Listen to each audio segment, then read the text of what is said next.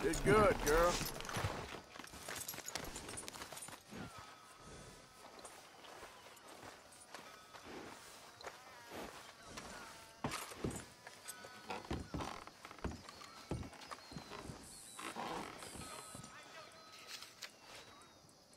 Drink so dang much and sing Shakespeare.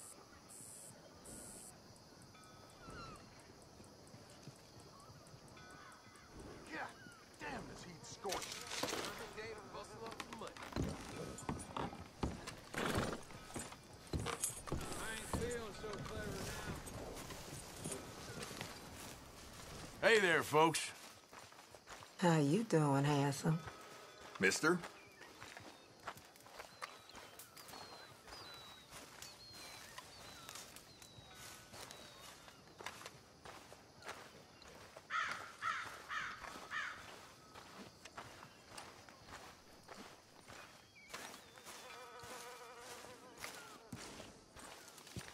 Stay, girl.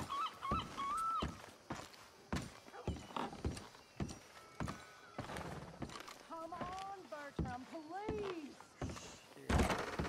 No. Bertram, say no. Oh, that's nice. That's very nice. Friends for life, we said. And now the two of you have betrayed me at once. Do you know what betrayal means, Bertram? No. It means hurting Miss Marjorie. Well, I thought you liked me. I've clothed you, I fed you. Bertram does like Miss Marjorie. Yes, and Miss Marjorie likes Bertram. So why don't you go and tell me where that nasty little Magnifico has run off to so I can get on with whipping that snot nose right into shape? He owes me. He owes us. Big time. Bertram and Marjorie. Would Bertram like a sherry? Bertram like Sherry. yes, he does. Barkeep, sherry. Make it the cheapest one you have. Everything okay? Uh, howdy. Imagine saving people, taking them to your breast, and metaphorically, I mean, like a mother, caring and raising them, and then they go and stab you in the back.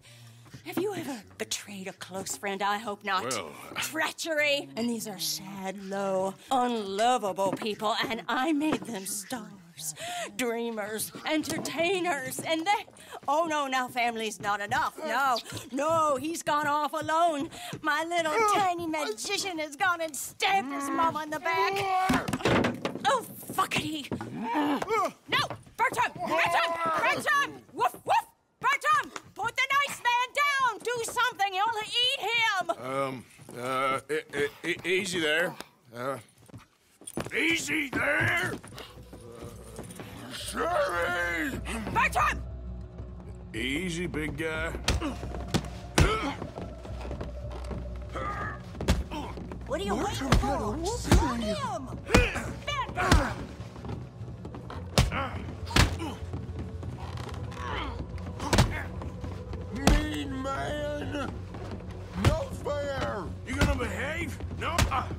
What he needs is a good sleep.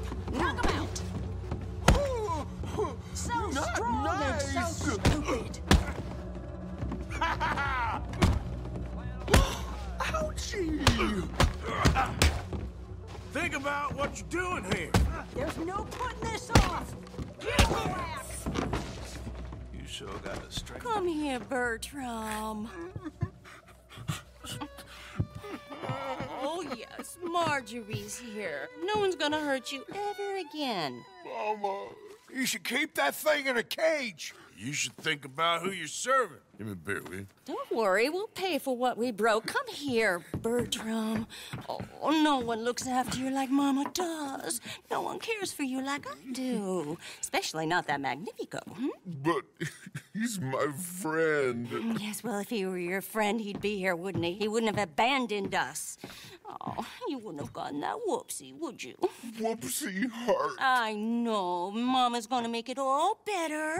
But First, you gotta tell me where that little worm ran off to, hmm? B- Bertram promised. Yes, well, Magnifico made a promise too, huh? He made more than a promise. He made a contract and he broke it. So you just tell me exactly where he is, and then we will all be even. That's my boy. He's camping in the woods. Why didn't you tell me in the first place? You just apologize to these men. I'm sorry. I'm sorry. You gave me a whoopsie. Hey, you just stay away from that sherry now, you hear? Bertram like Sherry. Oh, don't you get him started. Thank you for all of your help, Mr. Stranger. If you see that slippery little fella sleeping rough out there, would you just make a little racket and then we'll come along and we'll find you? I could try. Oh, his name is Magnifico. You'll know him when you see him. Come along, Bertram.